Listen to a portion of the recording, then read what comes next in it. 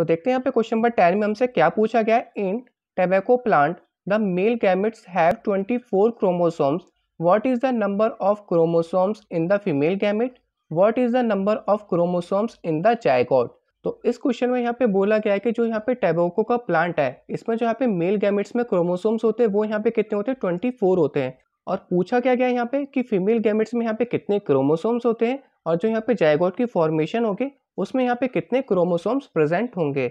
और जबकि जो हमारा यहाँ पे फर्टिलाइजेशन के बाद जो यहाँ पे जायगॉट की फॉर्मेशन होगी, उसमें जो यहाँ पे क्रोमोसोम्स होंगे, वो यहाँ पे क्या हो जाएँगे? डबल हो जाएँगे। कितने हो जाएँगे? फोर्टी एट हो जाएँगे। तो मेल में हमारे यहाँ पे कितने थे क्रोमोसोम्स ट्वेंटी फोर थे। फीमेल में हमारे यहाँ पे कितने हो जाएँगे? ट्वेंटी फोर हो जाएँगे। और आफ्टर फर्टिलाइजेशन जो हमारे यहाँ पे जायगोट की फॉर्मेशन होगी तो इसमें यहाँ पे कितने हो जाएगा? Twenty four twenty four forty eight chromosomes हो जाएँगे। और नॉर्मली जो यहाँ पे टैबाको के प्लांट में जो यहाँ पे मेल एंड फीमेल गैमेट्स में क्रोमोसोम्स होते हैं, वो हमारे यहाँ पे कितने होते हैं? ट्वेंटी फोर ट्वेंटी फोर होते हैं। और आफ्टर फर्टिलाइजेशन जो यहाँ पे जायगोट की फॉर्मेशन होगी, उसमें जो क्रोमोसोम्स होंगे, वो यहाँ पे डबल हो जाएँगे। कितने हो जाएँगे? फोर्टी एट हो जाएँगे।